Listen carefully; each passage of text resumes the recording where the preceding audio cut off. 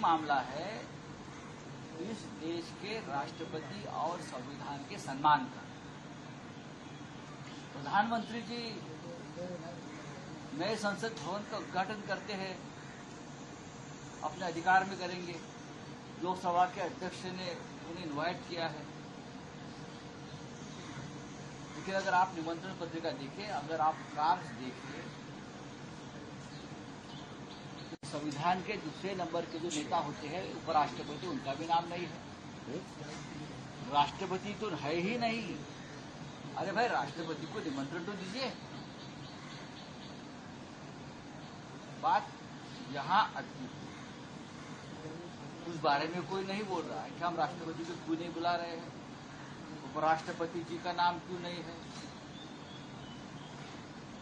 Ex president of India Ramnath Kovind को बुलाया नहीं है उनको निमंत्रण नहीं है। तो क्या ये एक, एक पार्टी का समारोह है? क्या है?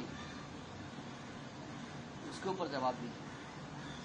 अपोजिशन का जो विरोध है ये देश के सम्मान का ये विरोध नहीं पार्लियामेंट ये कोई प्राइवेट प्रोग्राम नहीं है। देश का कार्यक्रम। ये नेशनल प्रोग्राम है राष्ट्रीय कार्यक्रम है। और देश का एक संसद का उद्घाटन होने जा रहा है। अब आप बोल रहे हैं कि इंदिरा गांधी जी ने फलाना फलाना एक्सटेंशन किया था पार्लियामेंट का उसका उद्घाटन किया एक्सटेंशन और पार्लियामेंट में फ़र्क होता राजीव गांधी जी ने लाइब्रेरी का उद्घाटन किया था लाइब्रेरी की इमारत और पार्लियामेंट का। वहाँ सत्र नहीं बैठता है सत्र तो पार्लियामेंट में बैठता है।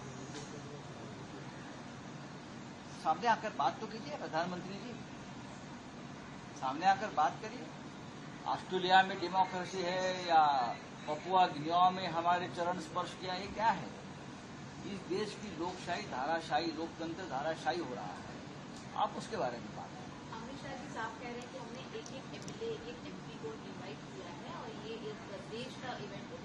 मैं मानता हूँ, अमित शाह जी की बात मैं मानता हूँ। हमें भी इन्विटेशन आया। मैं मेंबर ऑफ़ पार्लियामेंट जब बड़े आदमी की शादी होती है गाँव में तो पूरे गाँव को शादी को बुला लेते उनके लोग जाते हैं और पूरे गाँव में इन्विटेशन देते आइए, खानों को आइए, पीनों को आइए कॉकटेल डिनर है, आइए, और कुछ आइए। लेकिन मुद्दा ये है कि राष्ट्रपति को क्यों नहीं? अब उस बात। मुद्दा ये है, उपराष्ट्रपति कहाँ गायब हो गए? जो राज्यसभा के चेयरमैन आज हमने लिखा है लाल कृष्ण अडवाणी जी, जिनकी पूरी ज़िंदगी इस पार्लियामेंट में गई और जिनकी वजह से भारतीय जनता पार्टी को अच्छे दिन देखने को मिल रहे हैं। आज वो अडवाणी जी कहाँ गायब हो यह हमारे सवाल का जवाब दीजिए और क्या है?